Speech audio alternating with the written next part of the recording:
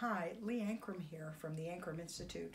So obviously here in this picture, we're showing you there's brain pictures, brains.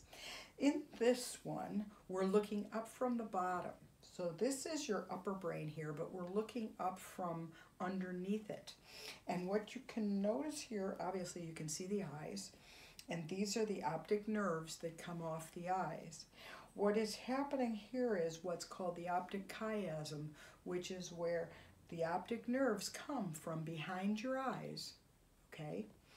And then it, they come together and obviously the, the impulse or the intake through the eye is going to go from the right eye to the opposite left posterior and from the left eye to the right.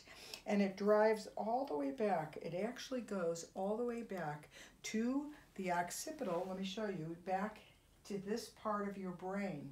So think about this. If I'm getting squeezed back here or something's happened to the back of my head, it certainly could impact my vision with these with these the nerves that are tracking back to that back part of my brain. These these is underneath the cortex. So if I get hit on the top, I can also be pushing down and creating tension on those structures. So it's really interesting because you know you can have symptoms and they can be coming from multiple different directions. So, you know, you guys have a great day.